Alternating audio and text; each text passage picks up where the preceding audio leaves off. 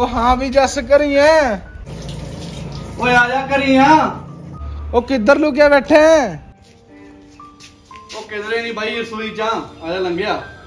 ਅੱਛਾ ਉਹ ਇੱਥੇ ਕੀ ਕਰਦਾ ਹੈ? ਉਹ ਕੰਮ ਤੇ ਨਹੀਂ ਗਿਆ ਅੱਜ ਸੱਚ। ਉਹ ਕਿਹੜਾ ਕੰਮ ਆ? ਜੇ ਘਰ ਦੇ ਕੰਮਾਂ ਤੋਂ ਵੇਲ ਮਿਲੇ ਫੇਰ ਹੀ ਆ ਆ ਜਾ ਅੰਦਰ ਲੰਘਿਆ। ਚਲ। ਅੱਛਾ ਇੱਥੇ ਕੀ ਕਰਦਾ ਹੈ? ਉਹ ਕਰਨਾ ਕੀ ਹੈ ਬਾਈ ਯਾਰ ਭਾਂਡੇ ਮਾਂਜਣ ਲੱਗ ਰਿਹਾ ਤੈਨੂੰ ਪਤਾ ਹੈ ਜੋ ਦੀ ਮੰਮੀ ਦੇ ਜਾਣ ਤੋਂ ਬਾਅਦ ਘਰ ਦੀਆਂ ਸਾਰੀ ਜ਼ਿੰਮੇਵਾਰੀਆਂ ਮੇਰੀਆਂ ਨੇ। ਹਲੇ ਉਹਨੂੰ ਸਕੂਲ ਵੀ ਤੋਰਨਾ ਹੈ।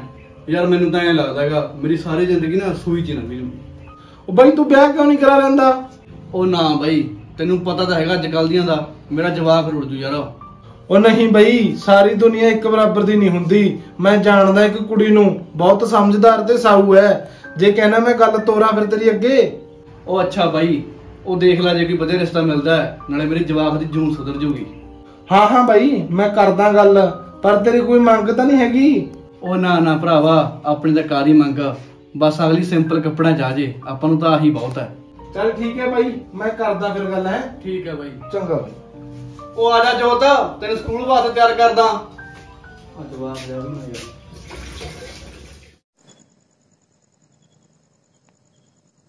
ਦੇਖ ਕਿਰਨ ਬਾਕੀ ਸਾਰਾ ਕੁਝ ਤਾਂ ਮੈਂ ਤੈਨੂੰ ਦੱਸ ਦਿੱਤਾ।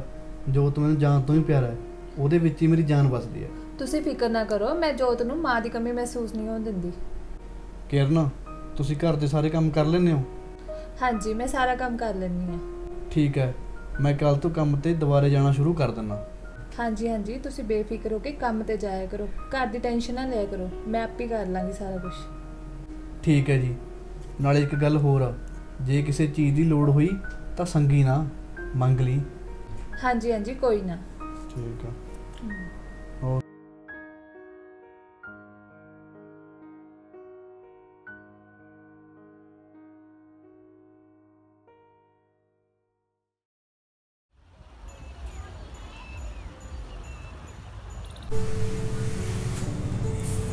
ਜੈਸ ਹੂੰ ਉਠੋ ਮੈਂ ਚਾਹ ਲੈ ਕੇ ਆਈ ਹਾਂ ਰੱਖ ਦੇ ਨਹੀਂ ਪੀਣ ਵਾਲੀ ਹੈ ਠੰਡੀ ਕਰਕੇ ਲਈ ਹਾਂ ਮੈਂ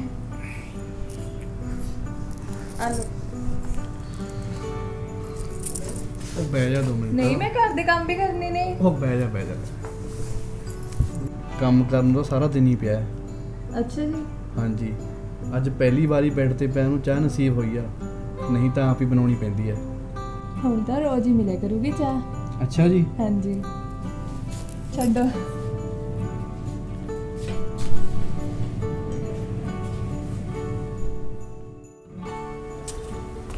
ਕਰਨਾ? ਮੈਂ ਚੱਲਿਆ ਕੰਮ ਤੇ। ਰੁਕੋ ਰੁਕੋ ਰੁਕੋ ਟਿਫਨ ਲੈ ਕੇ ਜਾਓ ਆਪਣਾ। ਕਮਾਲ ਹੈ। ਪਹਿਲੇ ਦਿਨ ਹੀ ਇੰਨਾ ਕੰਮ? ਹਾਂਜੀ। ਇੰਨਾ ਕੰਮ ਨਾ ਕਰਿਆ ਕਰ ਕੋਈ ਨਜ਼ਰ ਲਾ ਜਾਊਗਾ ਕੋਈ ਪਰਵਾਹ ਨਹੀਂ ਮੈਨੂੰ ਨਜ਼ਰ ਦੀ। ਅੱਛਾ ਜੀ। ਹਾਂਜੀ। ਚੱਲ ਇਹ ਦੱਸ ਕੰਮ ਤੋਂ ਆਉਣ ਵੇਲੇ ਤੇਰੇ ਵਾਸਤੇ ਕੀ ਲੈ ਕੇ ਆਵਾਂ? ਨਹੀਂ ਜੀ ਮੈਨੂੰ ਕਿਸੇ ਚੀਜ਼ ਦੀ ਲੋੜ ਨਹੀਂ। ਫਿਰ ਵੀ? ਠੀਕ ਹੈ ਜੀ ਕੁਝ ਵੀ ਲੈ ਆਇਓ। ਠੀਕ ਹੈ ਜੀ ਮੈਂ ਚੱਲਦਾ। ਧਿਆਨ ਨਾਲ ਜਾਇਓ। ਹਾਂਜੀ ਹਾਂਜੀ।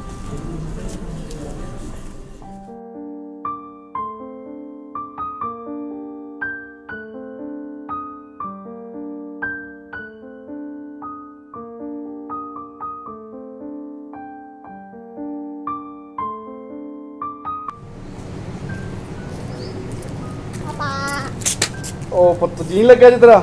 ਆ ਗਏ ਤੁਸੀਂ? ਹਾਂਜੀ। ਲੈ ਫੜਾਓ ਟਿਫਨ ਲਓ ਜੀ। ਆ ਜਾ ਅੰਦਰ ਚੱਲਦੇ ਆਪਾਂ।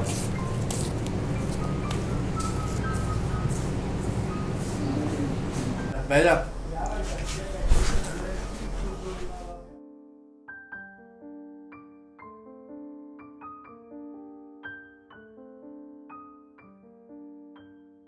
ਜੋਤ ਪੁੱਤ ਹਾਂਜੀ ਪਾਪਾ। ਤੂੰ ਅੱਜ ਨਹਾਤਾ ਨਹੀਂ ਹੈਗਾ? ਨਾ ਪਾਪਾ। ਕਿਉਂ? ਮੰਮੀ ਤਾਂ ਸਾਰਾ ਦਿਨ ਮੋਬਾਈਲ ਤੇ ਲੱਗੀ ਰਹਿੰਦੀ ਉਹਨੇ ਤਾਂ ਮੈਨੂੰ ਪੁੱਛਿਆ ਹੀ ਨਹੀਂ। ਅੱਛਾ।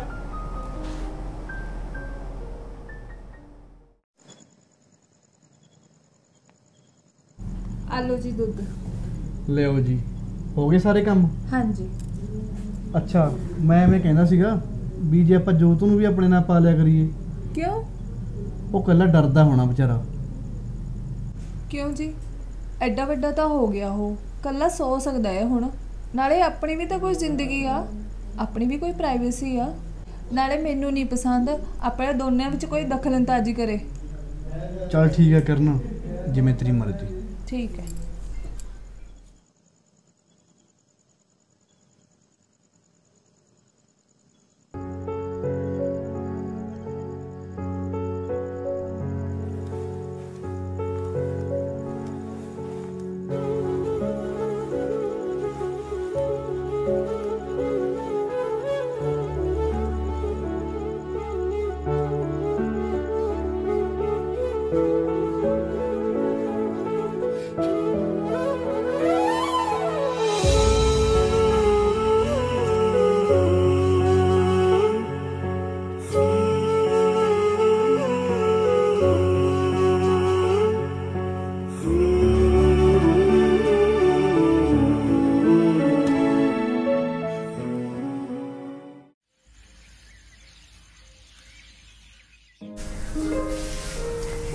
ਕਰਤੀ ਰੋਟੀ ਪੈਕ ਹਾਂਜੀ ਹਾਂਜੀ ਆ ਲਓ।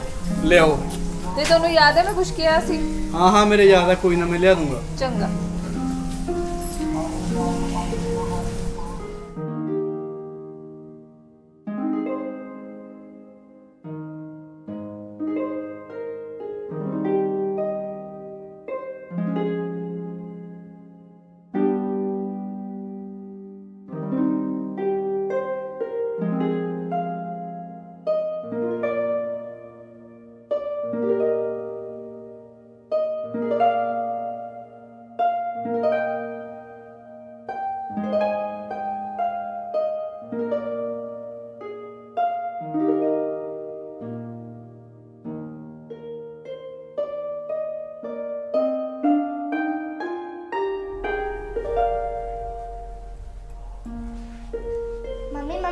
ਹਾਂ ਬੋਲ। ਮੈਨੂੰ ਭੁੱਖ ਲੱਗੀ ਹੈ ਫਿਰ ਮੈਂ ਕੀ ਕਰਾਂ?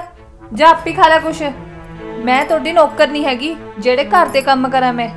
ਨਾਲੇ ਤੇਰੇ ਬਾਪ ਦੀ ਰੋਟੀ ਬਣਾਵਾਂ ਨਾਲੇ ਤੇਰੇ ਸ਼ੌਂਕ ਪੂਰੇ ਕਰਾਂ। ਚੱਲ ਤੁਰ ਜਾ ਇੱਥੋਂ।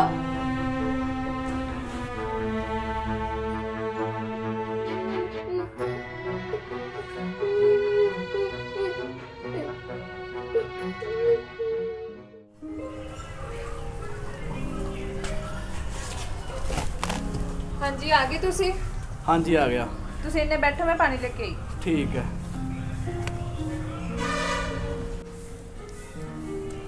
ਆ ਲਓ ਜੀ ਪਾਣੀ। ਕਿਰਨ ਜੋਤ ਕਿੱਥੇ ਆ? ਪਹਿਲਾਂ ਤਾਂ ਬੜਾ ਭੱਜ ਭੱਜ ਕੇ ਮਿਲਦਾ ਸੀ। ਉਹ ਤਾਂ ਜਲਦੀ ਸੋ ਗਿਆ। ਅੱਛਾ। ਐਨੀ ਤੁਸੀਂ ਮੂੰਹ ਹੱਥ ਧੋ ਲਓ ਮੈਂ ਤੁਹਾਡੇ ਵਾਸਤੇ ਰੋਟੀ ਲੈ ਕੇ ਆਉਂਦੀ ਠੀਕ ਹੈ ਠੀਕ ਹੈ।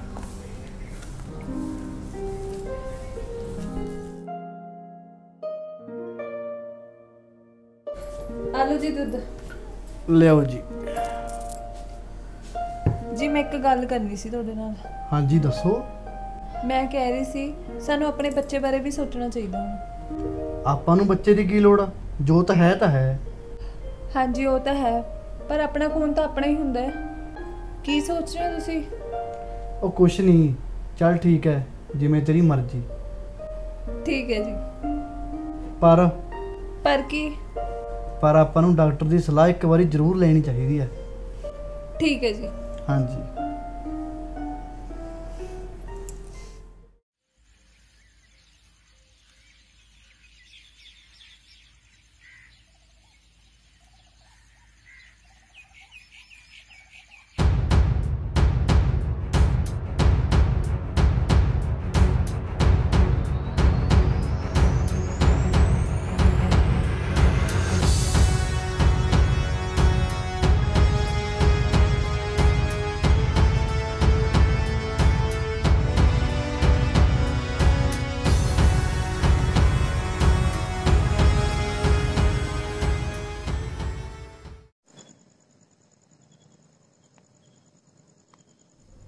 ਕੀ ਗੱਲ ਜੋਤ ਅੱਜ ਫੇਰ ਜਲਦੀ ਸੌਂ ਗਿਆ। ਤੁਹਾਨੂੰ ਪਤਾ ਹੀ ਹੈ ਜਵਾਕਾਂ ਦਾ। ਸਾਰਾ ਦਿਨ ਖੇਡ ਕੇ ਥੱਕ ਗਿਆ ਹੁਣ ਤੇ ਸੋ ਗਿਆ। ਹੂੰ ਠੀਕ ਆ। ਹਾਂਜੀ ਤੁਸੀਂ ਦੱਸੋ ਤੁਹਾਡਾ ਕੰਮ ਕਰ ਕਿੱਦਾਂ ਚੱਲਦਾ?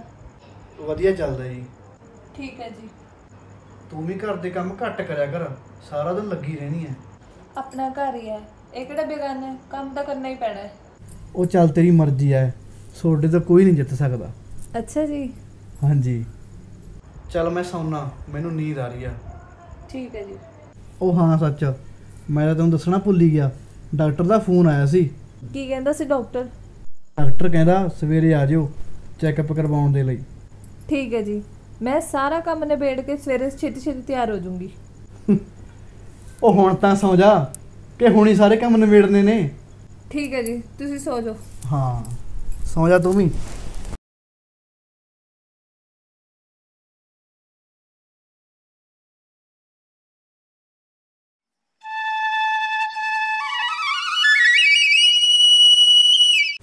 ਉਹ ਆ ਜਾ ਹੁਣ। ਰਾਤ ਤਾਂ ਬੜੀਆਂ ਗੱਲਾਂ ਮਾਰੀ ਜਾਂਦੀ ਸੀ ਵੀ ਛੇਤੀ ਤਿਆਰ ਹੋ ਜਾਊਂਗੀ। ਤੁਹਾਡਾ ਪਤਾ ਹੀ ਆ ਤਿਆਰ ਹੋਣ ਵਾਲੀਆਂ ਦਾ। ਆਪਾਂ ਕਿੱਥੇ ਚੱਲੇ ਆ? ਪੁੱਤ ਡਾਕਟਰ ਦੇ ਚੱਲੇ ਆ। ਪੁੱਤ ਤੇਰੇ ਲਈ ਭੈਣ ਲੈਣਾ। ਤੈਨੂੰ ਇੱਕ ਨਿੱਕੀ ਜਿਹੀ ਭੈਣ ਚਾਹੀਦੀ ਆ ਨਾ ਜੋ ਤੇਰੇ ਨਾਲ ਸਕੂਲ ਦਾ ਕੰਮ ਕਰਾਵੇ ਤੇਰੇ ਨਾਲ ਖੇਡੇ ਤੇ ਨਾਲੇ ਤੇਰੀ ਮੰਮੀ ਨਾਲ ਕੰਮ ਕਰਾਵੇ। ਹਾਂ ਪਾਪਾ ਚਾਹੀਦੀ ਹੈ ਠੀਕ ਹੈ ਪੁੱਤ ਅਸੀਂ ਲੈ ਕੇ ਆਉਨੇ ਆ। ਤੂੰ ਘਰ ਹੀ ਰਹਿ। ਠੀਕ ਹੈ ਪਾਪਾ। ਉਹ ਆ ਜਾ ਹੁਣ। ਘੰਟਾ ਲਾਦਾ ਯਾਰ। ਬਹਿ ਜਾ।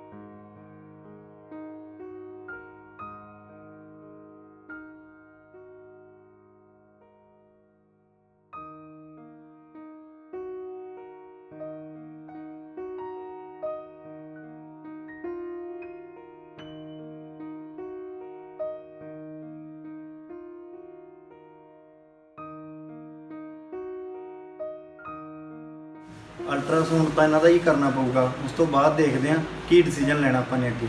ਹਾਂਜੀ ਹਾਂਜੀ ਠੀਕ ਹੈ ਜੀ। ਤੁਸੀਂ ਰਿਪੋਰਟਾਂ ਕਰ ਦਿਓ ਤੇ ਮੈਂ ਕੱਲ ਆ ਕੇ ਲੈ ਜਾਊਂਗਾ ਮੈਨੂੰ ਕਾਲ ਕਰ ਦਿਓ। ਠੀਕ ਹੈ ਜੀ ਕੋਈ ਗੱਲ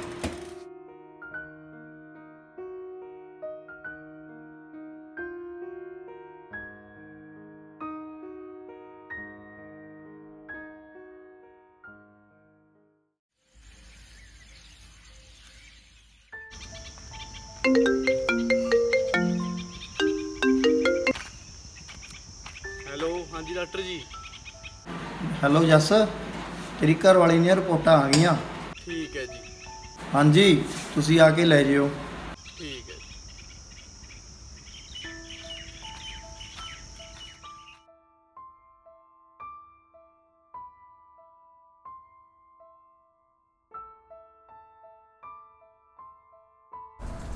ਆ ਲਓ ਜੀ ਪਾਣੀ। ਕੀ ਗੱਲ ਹੋ ਗਈ? ਉਦਾਸ ਬੈਠੇ ਹੋ? ਤੇ ਆ ਕੀ ਆ? ਤੇਰੀ ਰਿਪੋਰਟ। ਤੇ ਕੀ ਲਿਖਿਆ ਰਿਪੋਰਟ 'ਚ? ਤੂੰ ਕਦੇ ਮਾਂ ਨਹੀਂ ਬਣ ਸਕਦੀ।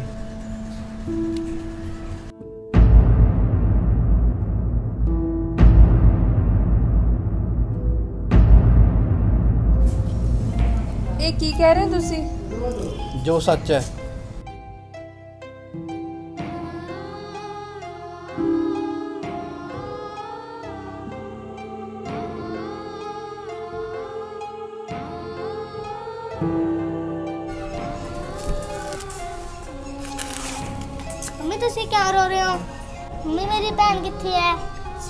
ਕੇ ਕਦੋਂ ਨਹੀਂ ਆਏ ਪੁੱਤ ਤੇਰੀ ਭੈਣ ਕਦੇ ਨਹੀਂ ਆ ਸਕਦੀ।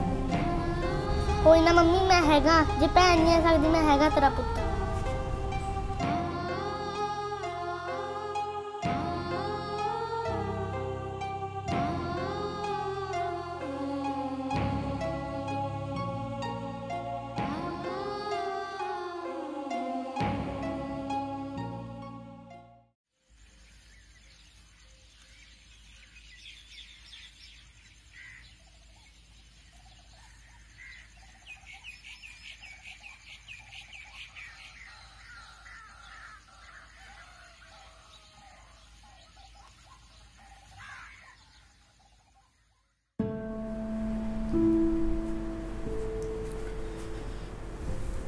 ਕਿਰਨ ਖੁਸ਼ ਹੈ ਹੁਣ ਤੂੰ? ਹਾਂਜੀ ਮੈਂ ਬਹੁਤ ਖੁਸ਼ ਹਾਂ। ਅੱਛਾ ਮੈਨੂੰ ਇੱਕ ਗੱਲ ਦੱਸ। ਹਾਂਜੀ। ਹਰੇਕ ਰਿਸ਼ਤੇ ਦੀ ਬੁਨਿਆਦ ਸੱਚ ਤੋਂ ਹੋਣੀ ਚਾਹੀਦੀ ਹੈ ਨਾ? ਹਾਂਜੀ ਰਿਸ਼ਤਾ ਤਾਂ ਹੀ ਅੱਗੇ ਨਿਭਦਾ ਜੇ ਸੱਚ ਨਾਲ ਸ਼ੁਰੂ ਕੀਤਾ ਜਾਵੇ। ਤੂੰ ਮੈਨੂੰ ਇੱਕ ਗੱਲ ਦੱਸ ਕਿਸੇ ਨੂੰ ਸੱਚ ਦਾ ਅਹਿਸਾਸ ਕਰਾਉਣ ਲਈ ਝੂਠ ਬੋਲ ਦੇਣਾ ਚਾਹੀਦਾ? ਹਾਂਜੀ ਤੁਸੀਂ ਇਹੋ ਜਿਹੀ ਗੱਲਾਂ ਕਿਉਂ ਕਰ ਰਹੇ ਹੋ? ਨਾਲੇ ਡਾਕਟਰ ਨੇ ਵੀ ਤਾਂ ਝੂਠ ਬੋਲਿਆ ਸੀ ਉਹਨੇ ਤਾਂ ਆਪਣੀ ਜ਼ਿੰਦਗੀ ਤਬਾਹ ਕਰ ਦੇਣੀ ਸੀ। ਹਾਂਜੀ ਮੈਂ ਵੀ ਉਹੀ ਗੱਲ ਕਰਨੀ ਸੀ। ਝੂਠ ਉਹ ਡਾਕਟਰ ਨੇ ਨਹੀਂ ਕਿਸੇ ਹੋਰ ਨੇ ਬੋਲਿਆ ਸੀ।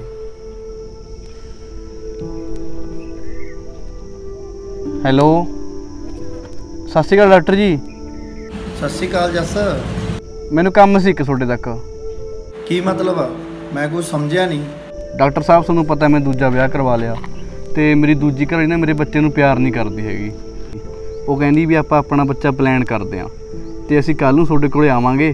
ਮੇਰਾ ਇੱਕ ਨਿੱਕਾ ਜਿਹਾ ਕੰਮ ਕਰ ਦਿਓ।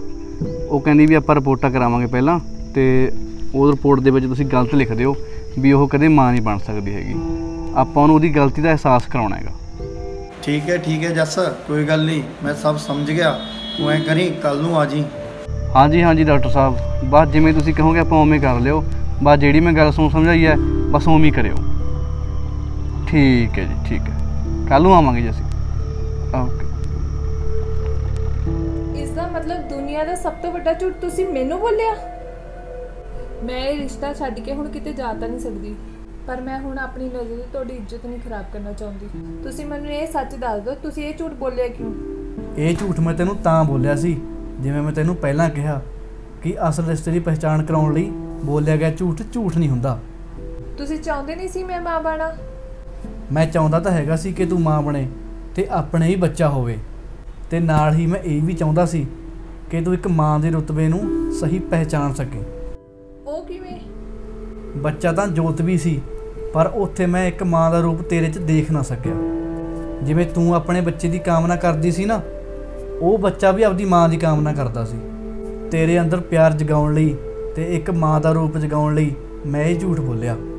ਜੇ ਤੈਨੂੰ ਹਲੇ ਵੀ ਇਹ ਗੱਲ ਗਲਤ ਲੱਗਦੀ ਹੈ। ਗਲਤ ਨਹੀਂ ਜੀ ਮੈਨੂੰ ਮਾਫ ਕਰ ਦਿਓ। ਮਾਫੀ ਮੈਥੋਂ ਨਹੀਂ ਉਹ ਬੱਚੇ ਤੋਂ ਮੰਗ ਜਿਹੜਾ ਇੱਕ ਮਾਂ ਦੇ ਪਿਆਰ ਨੂੰ ਤਰਸਦਾ ਰਿਹਾ। ਜੋਤ ਪੁੱਤ। ਆ ਜਾ ਆਪਣੀ ਭੈਣ ਨਾਲ ਖੇਡ ਲੈ ਆ ਜਾ ਬਹਿ ਜਾ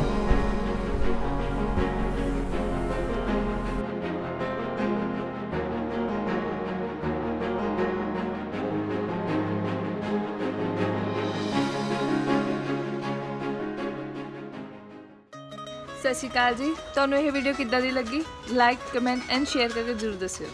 ਤੇ ਚੈਨਲ ਨੂੰ ਸਬਸਕ੍ਰਾਈਬ ਕਰ ਲਿਓ ਤੇ ਸਾਡਾ ਇੰਸਟਾ ਤੇ ਫੇਸਬੁੱਕ ਪੇਜ ਵੀ ਹੈਗਾ ਉੱਥੇ ਜਾ ਕੇ ਸਾਨੂੰ ਫੋਲੋ ਕਰ ਸਕਦੇ ਹੋ। ਤੇ ਜੇ ਕਿਸੇ ਫੀਮੇਲ ਐਕਟਰ ਨੇ ਸਾਡੇ ਨਾਲ ਕੰਮ ਕਰਨਾ ਹੋਵੇ ਤਾਂ ਥੱਲੇ ਦਿੱਤੇ ਗਏ ਨੰਬਰਾਂ ਤੇ ਕੰਟੈਕਟ ਕਰ ਸਕਦੇ ਹੋ। ਤੇ ਇਹਨਾਂ ਨੂੰ ਵੀ ਫੋਲੋ ਕਰ ਲਿਓ ਇੰਸਟਾਗ੍ਰam ਤੇ ਆਪਣੀ ਆਈਡੀ ਦੱਸ ਦਿਓ। ਰਾਣੋ ਕੌਰ 20 ਓਕੇ